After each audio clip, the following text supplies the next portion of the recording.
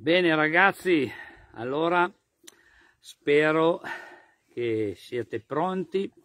per questa diretta dei quattro racconti che vi farò sul mio viaggio che ho fatto nel New Devon in Inghilterra per studiare ehm,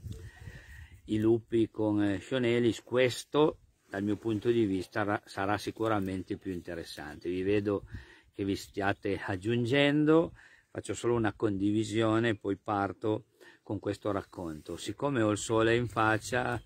ciao Rocco, non è che vi posso salutare tutti perché non vi vedo neanche tanto e poi vorrò continuare. Poi come avete visto vi rispondo ai commenti, poi metteteli pure, vi rispondo nel pomeriggio per iscritto ai commenti, vi saluto come faccio sempre. Adesso voglio solo fare questa condivisione e poi partiamo con questo mio viaggio eh, o meglio questa terza parte del viaggio che per me è stata la più indimenticabile senza dubbio perché è stata quella eh, nella quale ho potuto entrare nella recinzione dei lupi e interagire con loro. Ecco devo solo fare questa condivisione eccola qua e partiamo. Bene ragazzi beh, intanto spero che vi stiate preparando alle vacanze di Pasqua e perlomeno visto che ci hanno limitato di nuovo negli spostamenti vi godrete questi due o tre giorni. Anch'io spegnerò il telefono credo già venerdì sera e non lo riaccendo più fino a lunedì a meno. Cioè io lo faccio eh, lo riaccenderò per i filmati ma non per utilizzarlo in altri modi. Voglio farmi tre giorni di pieno relax eh, bene allora ragazzi ho visto che siete già più di 20 persone poi so che lo vedete in tantissimi vi ringrazio e siete sempre pieni di complimenti e io ve ne sono grato.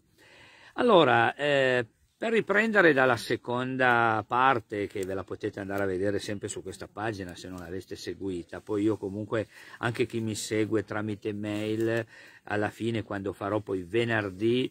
eh, che voi sarete poi già tutti in clima vacanziero, non so se mi seguirete o meno, ehm, manderò poi eh, un riassunto come faccio sempre che questi li trovate anche su youtube. Quindi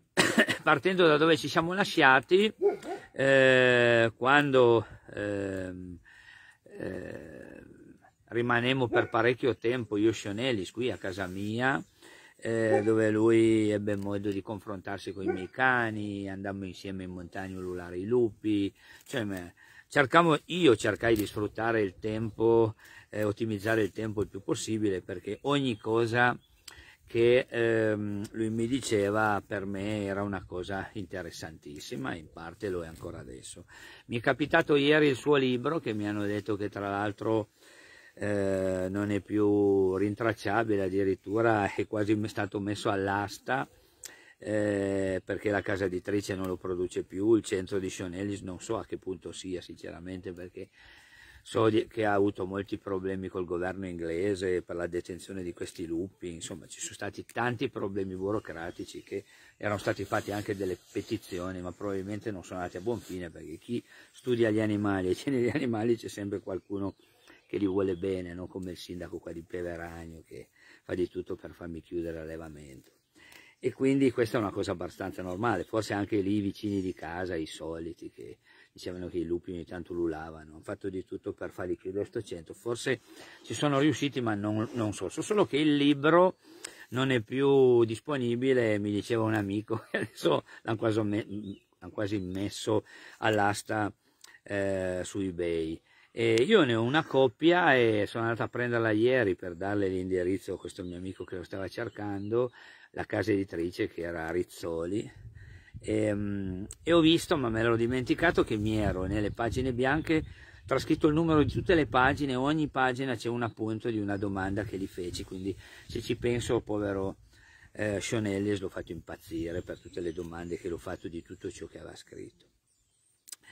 Quindi noi ci lasciamo con questa promessa che io sarei andato e lo feci dopo mica tanto tempo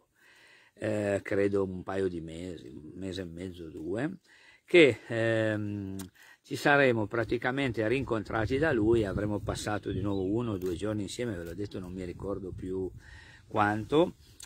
e che io dissi così come battuta, così vi, come io ti ho fatto incontrare i miei cani, a dire la verità, fuori dalla recinzione, tu adesso in compenso mi devi far entrare nella recinzione dei lupi. Inizialmente da parte sua ci fu una risata, sia, su, sia di Sean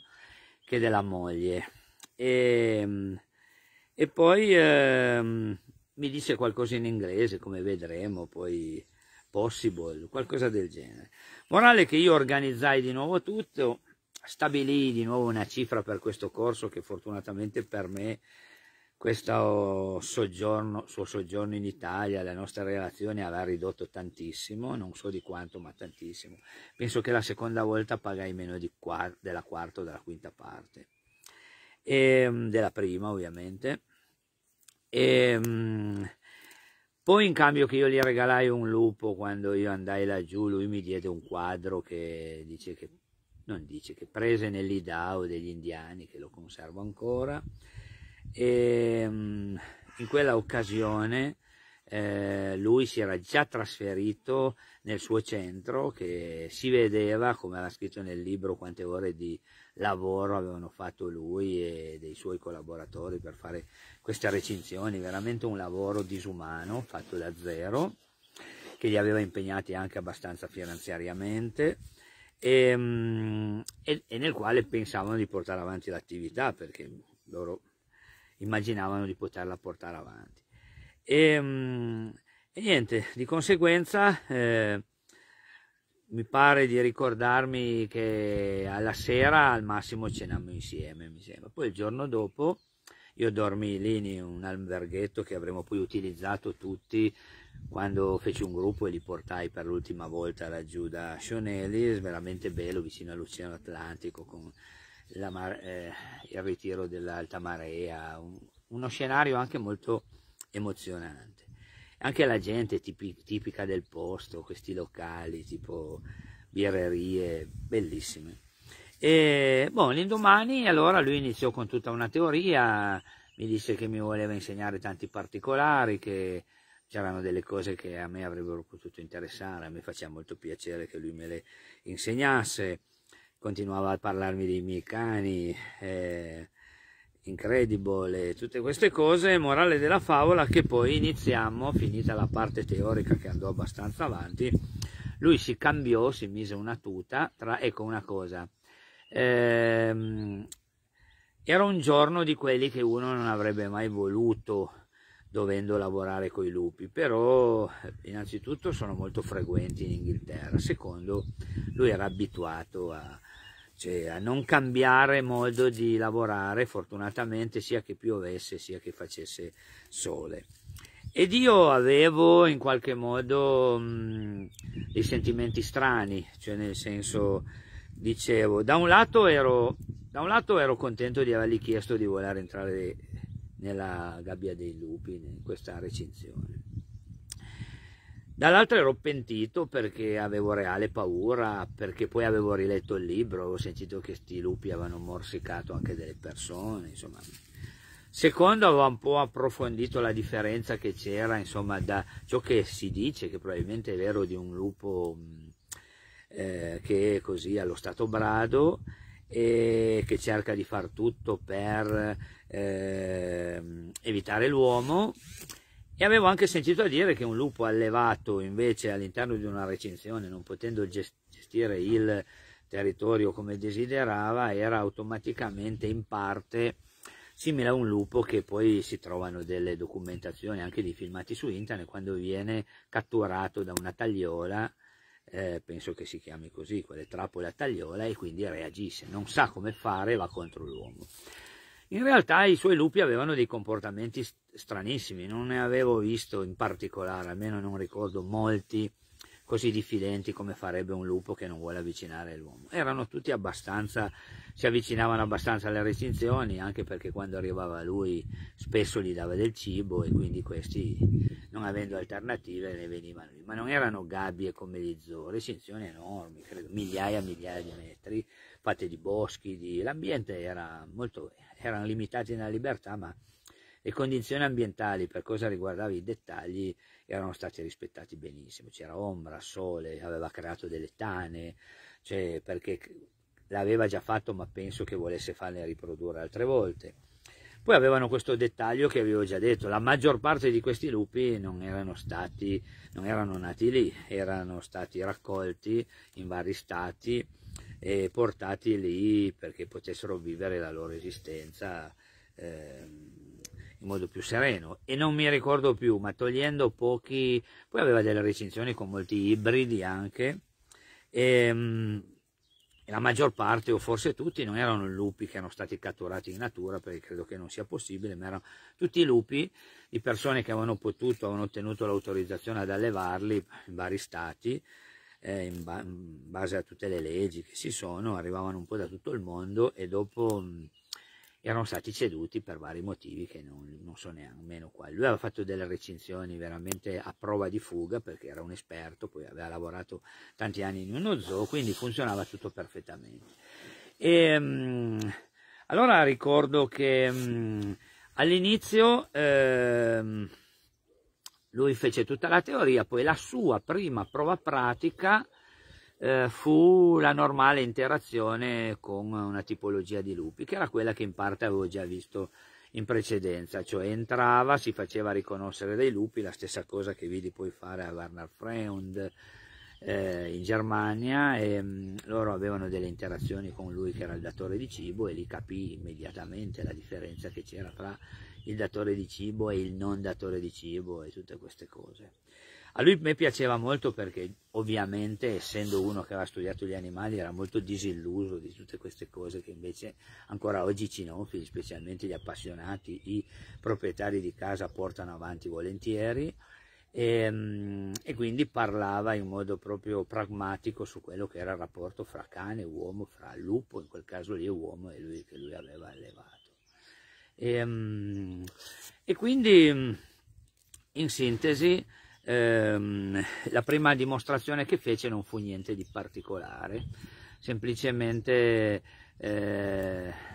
iniziò a contendersi un po' di più il cibo con i lupi e fece altre cose che non mi ricordo, ma non mi rimasero impresse. Ecco, una cosa che mi impressionò invece è quando ci condusse, io l'altra volta non li avevo visti perché era in un'altra recinzione, ci condusse da quelli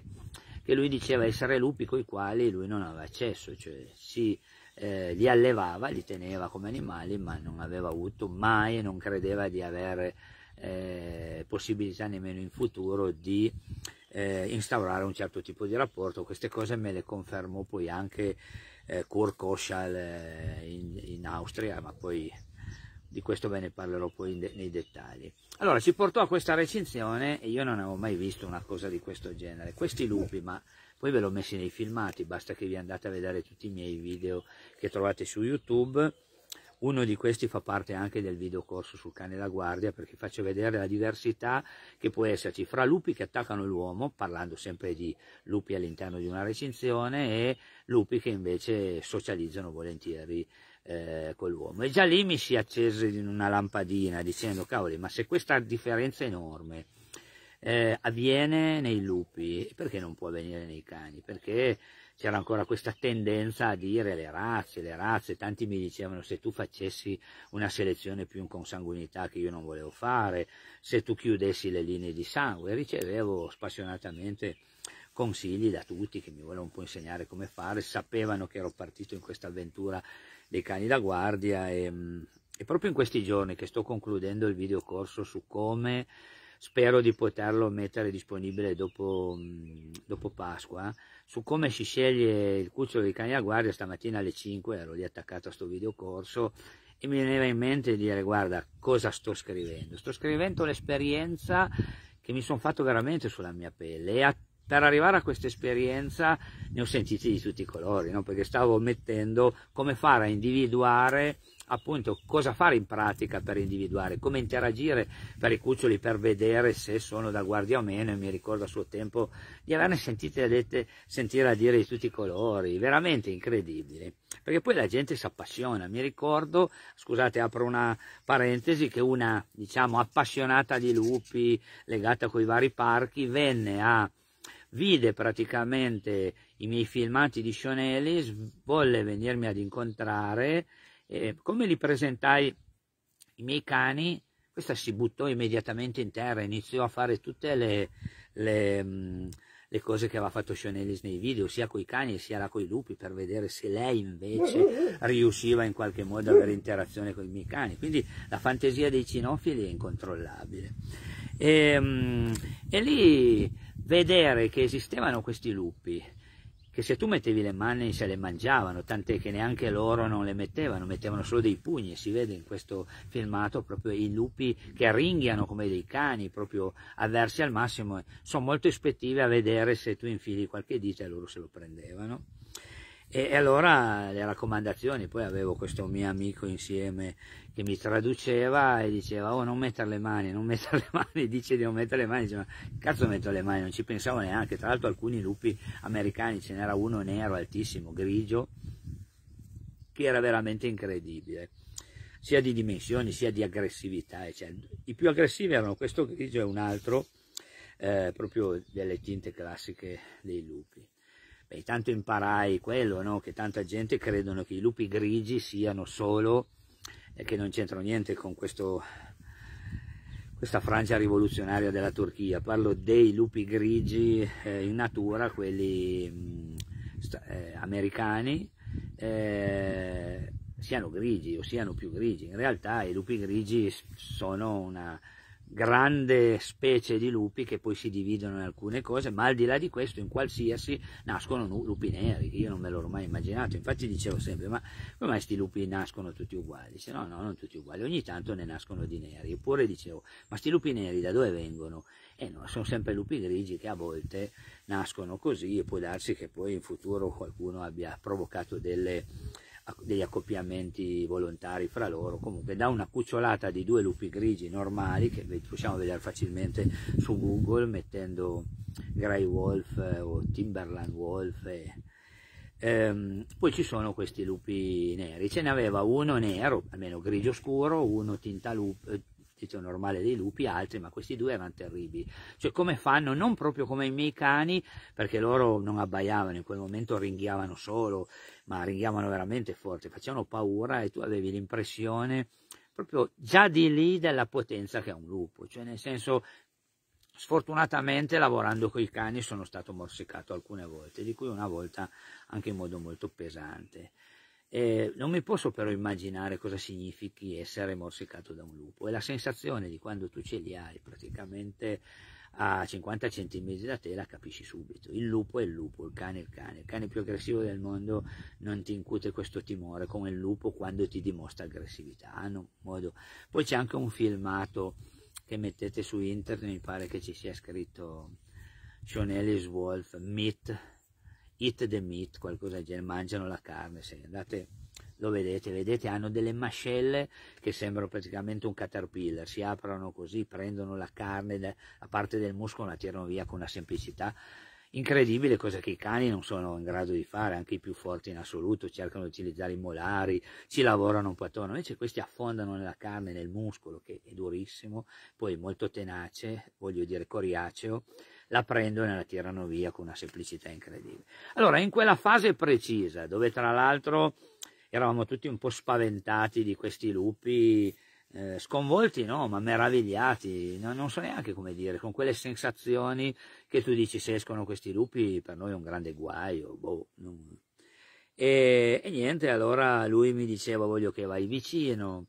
ehm, che vedi come sono, infatti a un certo punto mi dice tra l'altro voglio che vedi che ringhiano come i tuoi cani, lui era come dire era rimasto impressionato del ringhio dei miei cani, senti, cioè, e mi diceva è impossibile negare che i cani appunto derivano dai lupi e lui si era interessato molto dei lupi che potevano esserci in Asia centrale, questa cosa di sti cani che aveva visto per la prima volta nella, nella sua vita, nella mia recensione l'avevano coinvolto molto e avevamo fatto anche dei progetti allora di fare delle cose insieme, scrivere un libro insieme, poi il destino non l'ha voluto, non l'ha concesso. E, ehm, e niente, di conseguenza ero lì eh, con lui avevo dei, dei pensieri, dicevo, mamma mia, dico io un po' per dare, non so, un po' per sentirmi audace, allora avevo detto che volevo entrare nella, eh, nella recinzione dei lupi. Beh, intanto immaginavo e speravo che non sarebbero stati quelli perché mh, se non c'entrava lui non pensavo che era così matto da far entrare me, ma neanche avevo capito che proprio a piombo al 100% non era, un po' particolare era per la vita che aveva fatto, per alcuni dei suoi comportamenti, per come si mimava il lupo e diventava aggressivo, voleva mordere pure lui il lupo, personaggio che a suo tempo, io non so adesso, ma a suo tempo faceva un certo effetto, proprio la noncuranza di buttarsi fra le lordure dei lupi, rotolarsi su loro, fare di tutto. E um, un po' aveva fatto anche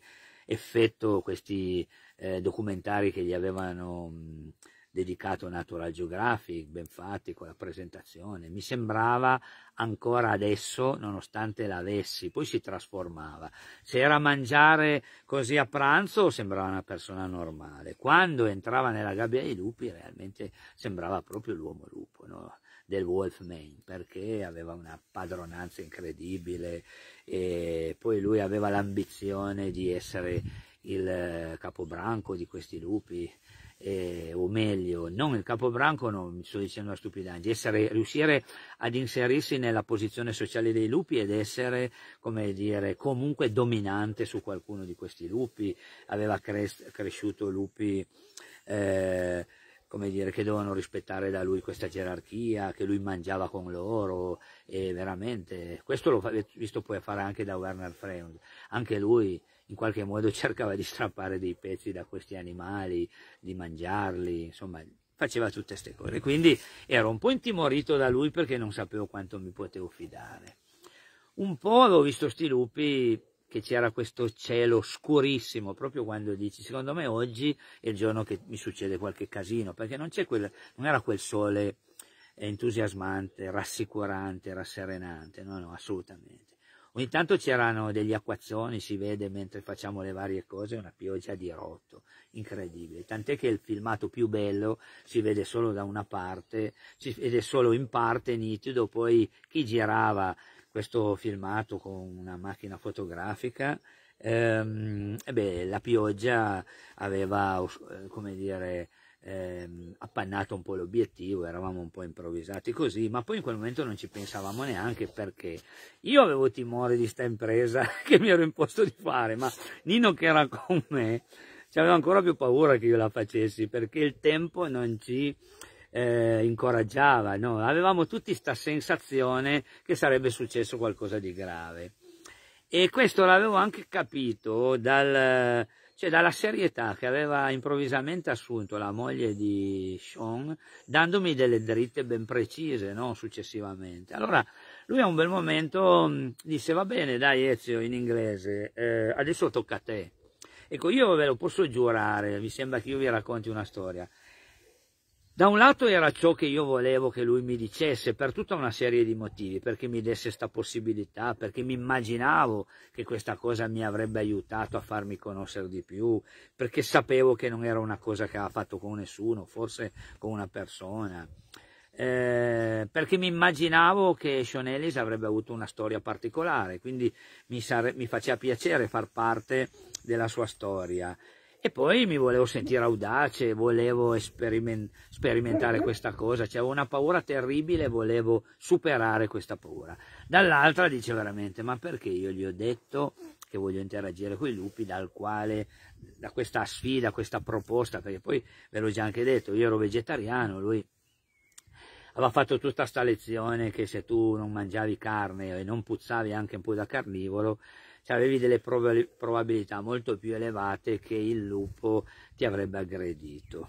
Io penso che di questa cosa poi ne parlarono, perché come ci spostammo da una recensione dall'altra, io anche se non lo facevo vedere mi sembrava, mi ricordava quei film che poi ti portano al patibolo, io iniziavo ad essere molto preoccupato perché avevo impresso appunto questi lupi, stavo valutando in quel momento che se prima la figura di Sean Ellis mi rassicurava e mi diceva ma no, se te lo dice lui, se ti fa entrare lui ti puoi fidare, poi mi venivano tutti i dubbi e dicevo ma Sean, che io poi l'ho conosciuto ancora meglio, qualora succedesse un incidente, ma che gliene frega lui, forse quello che gli avrebbe importato di più era il fatto eh, che avrebbe avuto problemi eh, col suo centro, che poi ha avuto per altri motivi. Nello stesso tempo sapevo quante mogli aveva, delle quali non si occupava sapevo cosa valeva lui, per lui la vita, che era stato un mercenario e scrive lui stesso nel libro che aveva ammazzato persone durante le rivolte, le guerre, non so più in Irlanda, sinceramente non me lo ricordo più, forse. E, um, nel Galles, mi, in Irlanda forse, adesso questo non me lo ricordo più. E, um, e quindi in quel momento mi giravano 8.000 informazioni. Avevo sua moglie che nel frattempo che facevamo questo percorso di 200-300 metri ci spostavamo da una, da una recensione il mio amico Nino mi diceva ma sei sicuro? Ma eh, non è che ti succede qualcosa? E quindi gli dicevo Nino ok adesso però lasciami stare un po' tranquillo che ci voglio pensare. Lui affettato affettuosamente e affettivamente era un po' preoccupato perché forse lo sarei stato anch'io fosse entrata una persona in quel momento con quella pioggia con quel cielo scuro e dopo aver appena visto sti, sti lupi che ci avevano terrorizzato. Poi a un certo punto avevano fatto una gli, avevano, gli avevamo fatto una domanda se quei lupi lì fosse, avessero incontrato una persona o se qualcuno fosse andato lì eh, vicino,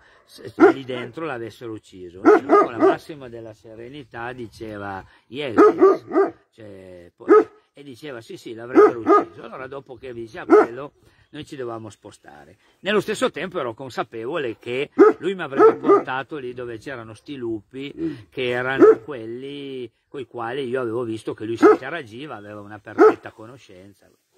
Allora, nel frattempo la moglie di Sean Ellis cos'è che mi diceva in quel momento? Mi diceva Ezio mi raccomando e mi dava un sacco di raccomandazioni che io ero sempre più terrorizzato e mi diceva allora innanzitutto devi sempre tenere la bocca aperta perché ciò che può scaturire una reazione violenta dei lupi nei tuoi confronti è quello se non sentono bene l'odore che ti viene da dentro. E questo c'era una grande verità, perché la faceva in parte anche Werner Freon, ma la faceva assolutamente fare a tutti eh, e la faceva lui stesso anche Kurt Koschar, che, era questo, che è, credo ancora, non so, questo docente della facoltà di veterinaria dell'Università di Vienna, grande studioso di lui. E, um,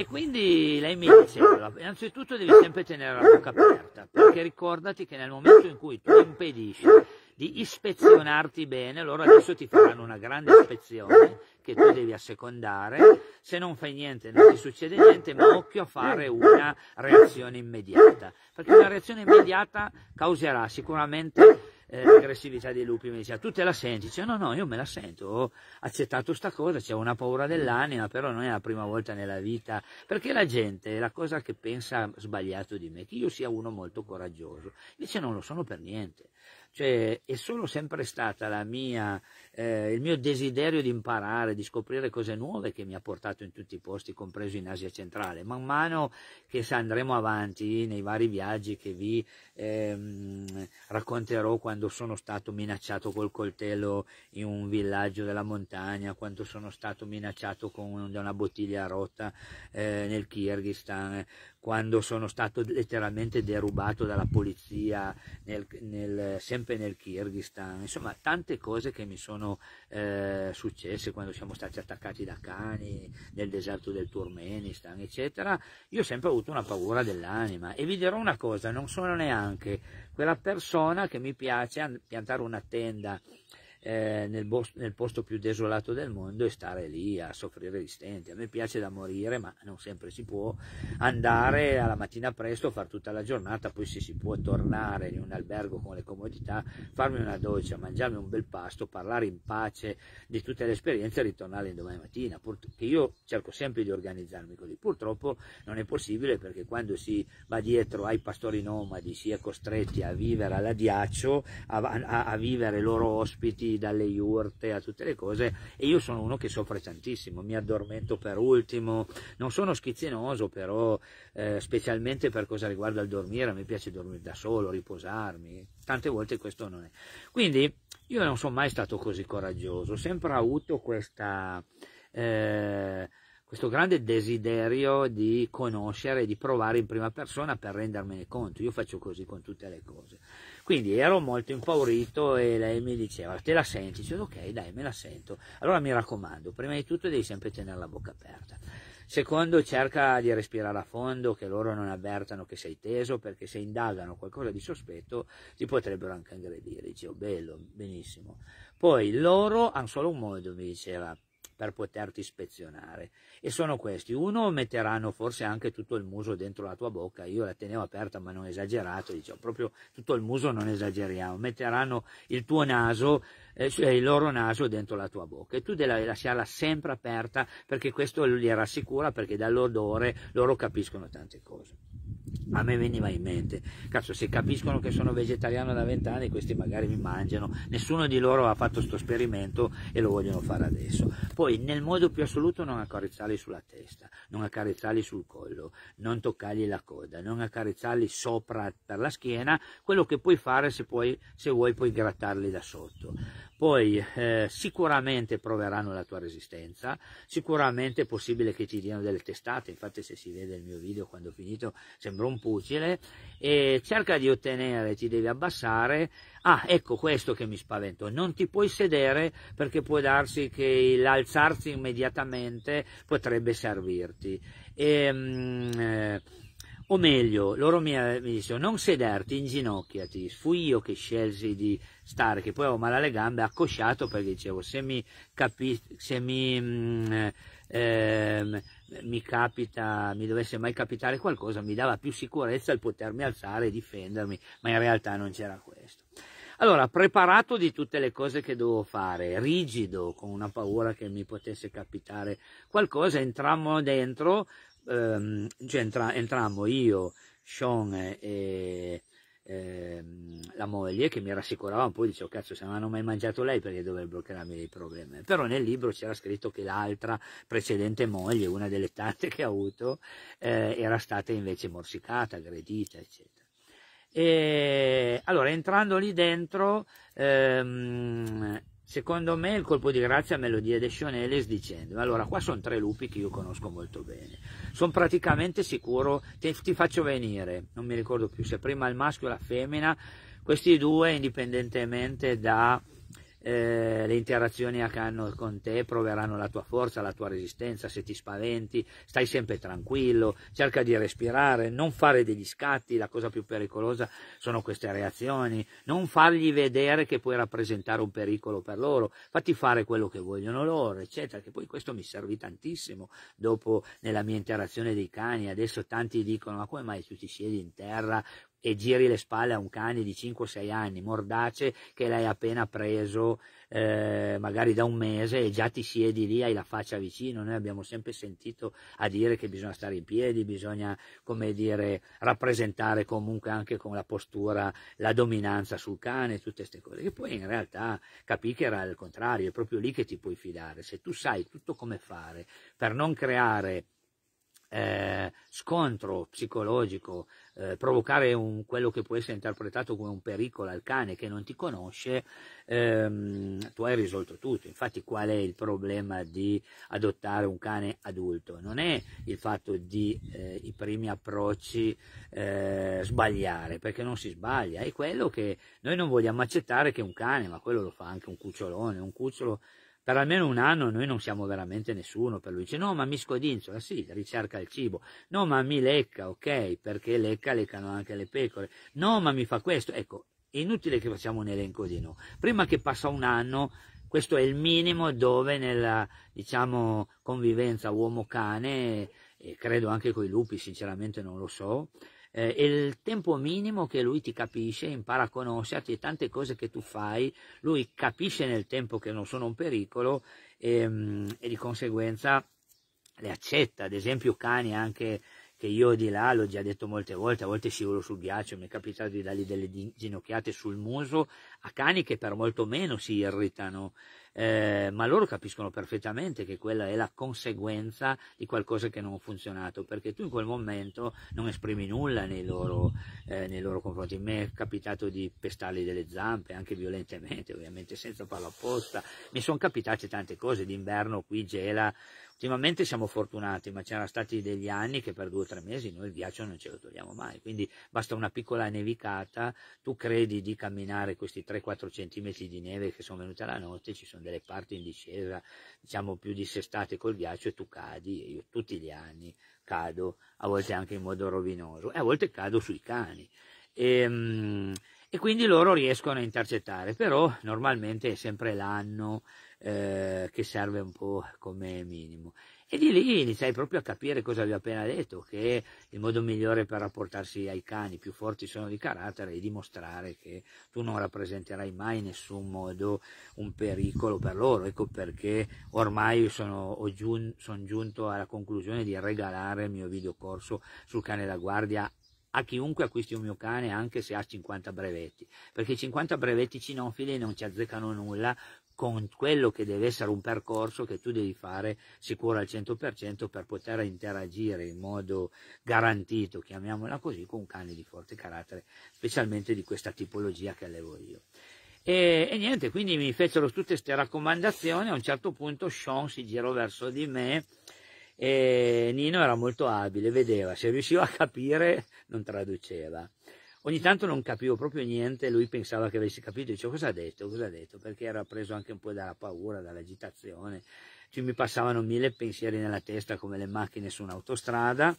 E, um, e lui mi disse guarda, i due che arrivano non ci sono problemi, devo solo fare attenzione, io dicevo cazzo ma perché non lo chiudi dall'altra parte, non far passare quello, perché questo qui veramente c'è rischio che ti morda. Lui come mi disse quello, io iniziai a guardare quel lupo e noi ci incontrammo con gli occhi e io vidi negli occhi di quel lupo, e fu quello che mi creò più spavento in assoluto, la vera intenzione mi ringhiava anche di attaccarmi. E lui con questa noncuranza, probabilmente esperienza, che io non la vedevo, non voleva dividere i lupi, questo non l'ho capito, forse perché lui sempre prende sempre un po' le cose così alla leggera, come fa tante altre cose, e allora permise, prima di venire un lupo, che in questo momento non mi ricordo, forse il maschio per primo, che era grigio, poi fece venire la femmina e impedì semplicemente proprio col suo fisico quello di... Ehm, come dire, di non eh, lasciar passare attraverso questa porta che aveva aperto perché c'era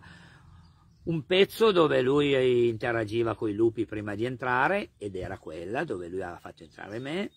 eh, invece, e poi utilizzava la porta di confine proprio per gestire questa situazione. Ma l'aveva spalancata, si era messo lui con un braccio che gli arrivava più o meno al petto, ma andate a vedere, i lupi continuamente provano ad alzare, provano a passare sotto, lui li controllava e diceva, oh, cazzo, se questo sbaglia un colpo, questo arriva, no? E io, già mi aveva detto questo, io ho visto sto lupo e lo vedevo molto diverso da questi che lui lascia, dice, questo non te lo posso far venire perché questo ti morde, senza dubbio. Io dicevo, oh, cazzo, ce l'aveva a due metri e, e, e sentivo, cioè mi alitava praticamente sul collo. Allora,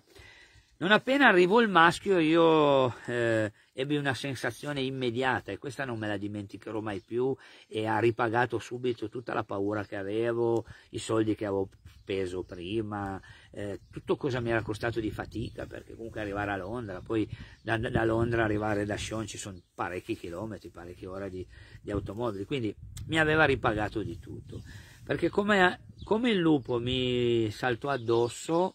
io non fui neanche curante di cosa faceva perché ero impressionato e la prima cosa che mi venne in mente era di chiudere gli occhi e sentii una forza ma veramente incredibile. A me saltano addosso veramente tanti cani sempre, però è una forza facilmente gestibile. Quella del lupo, e ve l'ho già detto in un altro filmato, mi ricordò eh, la forza trainante che avevano questi pony, che saranno stati alti, boh, un metro, forse neanche di meno, che quando andavano in calore ne ebbi due, uno si chiamava Natalino e l'altro Pasqualino, beh intanto se andavano in calore delle femmine normali, cioè alte uno e boh, 70, 80 al garrese, uno e 70 più o meno eh, lo, niente, loro scavalcavano qualsiasi recinzione come gli scoiattoli. Questo io non mi immaginassi che il pony poteva fare così. Ma se tu ce l'avevi alla lunghina e pensavi di trattenerlo, ma il pony si portava via quando voleva, eh, senza un minimo problema. Mi sono sempre chiesto ma perché allora in altre situazioni si facevano condurre così facilmente, ma quando gli veniva l'istinto del calore, oltre a scavalcare senza troppi problemi, uno si fece anche male poi da me. Ehm, eh, niente, ti, ti, travolgevano. Ecco, io sentii la forza di questi lupi come una forza travolgente e non mi curai in quel momento che loro si strofinavano a me, come potrete poi vedere sul filmato, mi davano delle testate. Io mi preoccupavo solo di due cose. Uno, che secondo me mi avrebbero spaccato il naso eh, o i denti o qualcosa e sarebbe stata la terza volta. Eh, invece fortunatamente questi colpi che sentivo quasi come pugni dati in faccia a una persona mi eh, più che tutto mi prendevano in questa parte, infatti poi ero risultato parecchio gonfio, mi rimase il segno blu e, e rosso per qualche motivo. Sicuramente questo non avveniva a Sean perché non stava lì come una pera, come ero io che non sapevo che cosa devo fare perché mi avevano riempito la testa di cosa devo fare, di paure, di, di, di situazioni, però quello che mi rimase più impressionato e come loro riuscivano a travolgermi, tant'è che eh, più di una volta sia lui che la moglie mi aiutarono tenendo indietro il lupo perché lui in questi test e lui mi aveva detto non porre comunque resistenza, guarda che se loro praticamente ti vogliono, vogliono, vogliono travolgere e nello stesso tempo mm, tu opponi resistenza, loro la prendono come una sfida, lo stesso come se tu li vieti di sentire l'odore che ti veniva dentro, quindi mi rimanevano sempre così a, a, bocca aperta dicevo questo non me lo devo dimenticare di sicuro, poi non devo fare questo e devo fare un sacco di cose. Allora, in quel momento lì, che cos'è che ho imparato più importante di tutto che non mi è mai più andato via di mente e non mi andrà mai più via di mente? E, ehm, la differenza di potenza che c'è fra un lupo e un cane. La differenza non è solo dovuta a questo che l'avrete già sentito a dire eh, sulla chiusura mandibolare, che il lupo c'era praticamente il doppio di, di ciò che può produrre al massimo della selezione l'essere umano. Dicono che lui abbia più o meno 100 eh, ogni centimetro quadrato nella chiusura e i cani, se è giusto ciò che è scritto su determinati libri, possono superare di poco i 50 però è quella cinotecnica della quale non me ne sono mai occupato nei dettagli perché ho altri interessi, però molti sostengono questo, ma non è questo che mi ha impressionato, è proprio vedere intanto come usano le zampe eh, quando si mh, posizionano, si mettono due, hanno un modo di, di gestire l'equilibrio che è una cosa incredibile, cioè non mi, non mi stupisce che se un lupo aggredisce una mucca riesce anche magari ad atterrarla e che un paio di lupi riescono a farle magari con un bisonte piuttosto che lo possono fare come niente con un asino, eccetera. Perché è proprio la distribuzione delle forze che è un capolavoro della natura, cioè nel senso sono bassi e lunghi, no? Di conseguenza quando si alzano diventano altissimi quando appoggiano solo sulle gambe dietro. Nello stesso tempo l'essere bassi, come tu cadi, il baricentro basso gli permette in un modo praticamente schiacciante di tenerli lì. Quello che mh, mm, in poche parole eh, tu riesci a percepire una forza travolgente. E, io poi lui mi aveva detto non porre resistenza, a un certo punto la moglie dice sì, ok, un po' la devi porre perché continuavo sempre a cedere indietro e poi quella parte è stato il filmato che è poi rimasto pubblico, una parte prima e una, eh, probabilmente il filmato non è venuto e ci sono state tante cose. E, mm, e niente, Finita questa esperienza, che secondo me è stata la più significativa, ah, vi voglio dire solo una cosa. Eh, tutte le volte che sono stato morsicato dai cani, ehm, ho provato specialmente una di queste volte, anzi due di queste volte, dei tremori ripetuti per due o tre giorni, freddo, ma non ho mai avuto eh, insonnia laggiù dove le eventuali ferite mi lasciavano dormire, e quindi a volte era braccia, gambe o queste cose, più braccia della verità, e sistemate bene le braccia che non mi dessero fastidio, ero riuscito comunque sempre a dormire. Voi pensate che l'adrenalina mi era sal- salita talmente tanto che sia quella notte, che eravamo ancora in quell'albergo, sia la notte dopo, che ero già a casa di Nino, io non chiusi occhio ma veramente come quando ti è successo qualcosa di straordinario. Mi capitò una cosa simile quando da giovane capottai più volte con un'automobile e poche altre volte, oppure quando ti innamori della donna più bella del mondo secondo te, pensi che mai la ripotresti ritrovare, hai una paura di perderla da morire e quindi vai a casa, ma col cazzo che ti riesci a addormentare, guardi tutti fino alle 4, vai a dormire ma non chiudi occhio e magari lo fai ancora. Poi purtroppo a tutto ci si abitua e dopo cioè, per le donne uno sa, impara poi a addormentarsi abbastanza facilmente. Ma in questa cosa invece eh, fu veramente incredibile. Sentire questa adrenalina che non mollava mai, quindi andai avanti come avessi preso chissà quanti tè o caffè, che io non bevo, bevo un po' di tè solo quando sono in Asia centrale perché non c'è altro. E niente, mi sentivo l'effetto come mi avessero imbottito di guaranà, cioè non so, avrei fatto qualsiasi cosa un po' per entusiasmo, un po' per questa adrenalina che mi sentiva. E portai a casa questa esperienza che non solo fu per me per sempre indimenticabile, fu proprio la prova verso me stesso che un cane non potrà mai essere più forte di un lupo. Quindi tutte le volte che io eh, vedo questi documentari dove in qualche modo i cani fanno perire i lupi, metto subito eh, mi oriento subito nel cercare dove l'inganno. Beh, intanto l'inganno è che aggirano queste cose di giorno, è difficilissimo che i lupi attacchino di giorno, ma è difficilissimo che i lupi attacchino quando guarda caso c'è lì vicino il pastore guarda caso c'ha il telefonino e guarda caso è preparato a fare un filmato. Tutti i, i pastori che io conosco eh, che hanno visto i lupi da vicino, prima che si organizzassero un minimo, beh, il lupo era lontano, si vede limitatamente, quindi vedere questa cosa, eh, beh, è ovvio che in quei casi lì si tratta di lupi o meno mati forzatamente, eh, magari feriti, piuttosto che non so cosa gli sia successo, o addirittura allevati in cattività, che quindi per la frustrazione sono molto più deboli di un cane, perché c'è questa la differenza. Quando vi eh, racconterò l'esperienza fatta, più esperienze fatte molto interessanti con Kurkoshal, questo docente universitario che poi feci fare un convegno anche in Italia, ma ve ne racconterò poi i dettagli. E beh, ad esempio era incredibile vedere come tutti questi lupi venivano gestiti ed erano tutti sottomessi alla sua femminuccia di Eurasia, ma non perché lei era, apparteneva a una razza particolare, aveva doti chissà come, semplicemente perché loro erano stati cresciuti, poi lui mi spiegò tutti nei dettagli l'importanza che aveva, che ha eh, prenderli a dieci giorni e non di più e mi spiego tutto come si organizzano, ci sono diciamo, dei eh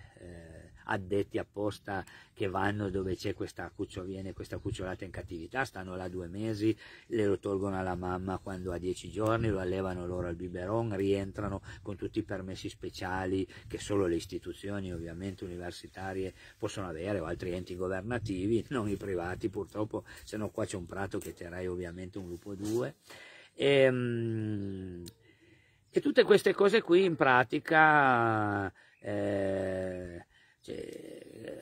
che maturai queste esperienze mi fecero capire la grande differenza, come vi dicevo, di potenza. Quindi da quando iniziai a occuparmi di cani antilupo, ma non partì mai minimamente dal presupposto che io davo un, cucciolo o due, i lupi non si sarebbero più avvicinati. Per i primi anni temo sempre che i lupi arrivino, si prendano i cani, se li portano. Così come so benissimo che se i cani sono diversi, sono gestiti bene, ci si organizza sul territorio, i lupi non toccano più una pecora perché è troppo sconveniente per loro e poi eh, la carne ovina la gradiscono fino a un certo punto, no? ve l'ho detto altre volte, un po' come noi mangiamo la minestrina se non c'è nient'altro, però se sono le lasagne al forno che vi piace la pasta ovviamente come mangiate un hamburger tutto schiacciato perché non vi fanno rosolare magari qualche animale allo spiedo se vi piace la carne. E lì il lupo è la stessa cosa. Quindi concluderei dicendovi questo, che questa esperienza che non me la dimentico tutt'oggi, sono contento di averla fatta, infatti ho continuato a girare il mondo per ripeterle, però da Werner Freund era troppo anziano e poi ve la racconterò l'esperienza, non fu possibile anche se, fosse, se per caso fosse durato un po' di più, io lo conobbi poco prima che lui morisse, morì a 81 anni, io lo conobbi, lo conobbi un giorno prima, no? Un giorno, do, il giorno dopo del suo compleanno. e lui quindi restammo in contatto più o meno un anno, poi purtroppo per tutti se ne andò, aveva già tutta una serie di problemi di salute. E con anche Kurkoshal, però Kurkoshal ha solamente lupi perché loro fanno uno studio un po' particolare, fanno proprio lo studio sulla differenza che c'è fra un lupo eh, allevato in cattività, gestito come un cane e paragonano come studi universitari e centro Conrad Loren le reazioni, eh, le interazioni, eh, tutte le attitudini a trovare delle soluzioni nei confronti dei problemi, la differenza fra eh, il cane e il lupo. Determinati cani di tipo lupoidi primor- più primordiali, però studiano questo. E quindi è una sensazione diversa, cioè nel senso ti senti molto più rassicurato, vedi che rapporto hanno loro, eh, ma invece con Sean Ellis fu veramente un'esperienza, ma si vede anche dai filmati, irripetibile, non ho mai visto nessuno, anche questi che adesso ci voglio andare, non fosse per il lockdown ci sarei andato quest'autunno, c'è quest'altro centro in Norvegia che visiterò quanto prima, che fanno interagire eh, con i lupi, io poter, come dire, mh, interagire con i lupi per me dà un'emozione incredibile, quasi, eh, non so, ci sono alcune cose che mi emozionano molto, una è quella, l'altra essere in un gregge con i cani e sentire il tintinio delle campane, perché probabilmente ricordo eh, tutti i racconti di mia nonna che era una pastora e sono quelle cose che non me ne andrei più via. E quindi cioè, farò altre esperienze, ma so già fin d'ora che è molto difficile trovare un'altra occasione, non significa impossibile, però molto difficile, per, ehm, come quella di Sean Ellis poi andai anche negli Stati Uniti, ve ne parlerai, Minnesota, Indiana e Colorado per poter incontrare degli esperti di lupi che studiavano le interazioni sui lupi. Ne ebbi una molto importante in Indiana, un'altra in Colorado, che è praticamente quella che ho sempre sul mio profilo Ezio dei Cani però furono interazioni diverse, gestite da persone più responsabili, con dei lupi molto più pacifici, abituati. I lupi di Sean, non so se li abbia ancora, dove sia, non so nulla di questa situazione, non erano lupi selvatici, ma erano lupi assolutamente con un altro dinamismo, erano stati cresciuti da lupi, ehm, cioè, eh, veramente. Poi lui era uno che faceva il possibile di non addomesticarli. Ecco, molti lo condannavano perché dicevano un giorno, un giorno o l'altro leggeremo un articolo che Sean verrà mangiato dai, cani, dai lupi, e per adesso non è ancora mai accaduto però eh, perché ha un modo di allevare i lupi in modo troppo selvatico. Eh, ecco, la grande differenza fu proprio quella. Credo che quella sarà stata e sarà per me l'unica esperienza nella vita nell'aver potuto interagire con lupi, non selvatici, ma decisamente più eh, selvatici di quelli che poi ebbi occasione di interagire in altre situazioni e magari in altre che eh, incontrerò. Bene ragazzi, non so che ora sia, però più o meno ci siamo, abbiamo fatto un'ora e mi rimane solo da dirvi che appunto questa, con l'adrenalina portai a casa eh, questa esperienza. Fu la prima volta nella mia vita che alla fine di un'esperienza mi sentivo, e non voglio che interpretate eh, della mia presunzione in questa dichiarazione, un essere superiore, un essere superiore nei confronti di questa esperienza diretta, perché non ci sarà mai nessuno che riuscirà a convincermi che un cane può competere con un lupo. E questo l'ho proprio provato fortunatamente senza morsicatura in questa interazione con i lupi di Sionelis che mi ha toccato per sempre e la rifarei però non abbiamo più molti contatti e mm, non so neanche se si siano appunto sti lupi perché l'emozione è stata forte e oggi la dovessi rifare la rifarei eh, beh, con tanti, tanto con meno paura la rifarei come con le sensazioni di quando uno va in bici ha paura di cadere oppure cade dagli sci e poi si rialza e continua. Ecco, mi servirebbero, mi piacerebbe poterne fare altre, però la vedo difficile perché lo cercate ovunque, ma come lui che a quel, quel giorno mi permise di avere questa interazione, in realtà non ne ho viste tante altre e nello stesso tempo mm, eh, sono quasi geloso di questa ex moglie che invece eh, riuscì a farne tante, se la cavava veramente bene e mh, mm, ululava veramente bene. Poi l'altra volta mi insegnò anche a ululare, ma io provai ad andare a ululare un sacco di volte, ma non so se i lupi in quel momento non c'erano, il mio ululato, che pensavo di averlo imparato bene, funzionava, ma non ho mai avuto la fortuna di vedere i lupi a eh, rispondere. Va bene ragazzi vi saluto, vi ringrazio di avermi ascoltato, spero che vi sia piaciuto questo eh, racconto, vi auguro buona giornata a tutti e venerdì eh, alla mezza faremo eh, l'ultima parte e, e, poi dipende, lunedì di Pasquetta bisogna vedere come mi alzo e cosa decido a Pasqua e vedo se farvi appunto, non so cosa ci venga dopo, so che dopo Sionelis forse c'è il mio viaggio in Tagikistan che non sarà male anche quello perché il Tagikistan è un posto tosto da ehm, come dire perlustrare specialmente se nei primi viaggi alle prime armi uno partiva così senza organizzare nulla arrivava in un posto e cercava di raggiungere i pastori che non è mai stato facile ma più o meno togliendo in Turkmenistan poi ce l'ho poi sempre fatta Va bene, grazie di avermi ascoltato e vi auguro a tutti buona giornata. A presto.